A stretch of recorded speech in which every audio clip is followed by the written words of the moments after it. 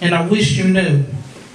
I wish you could understand how I live just like the words that are forever trapped inside my phone and it makes sense, right? That the poems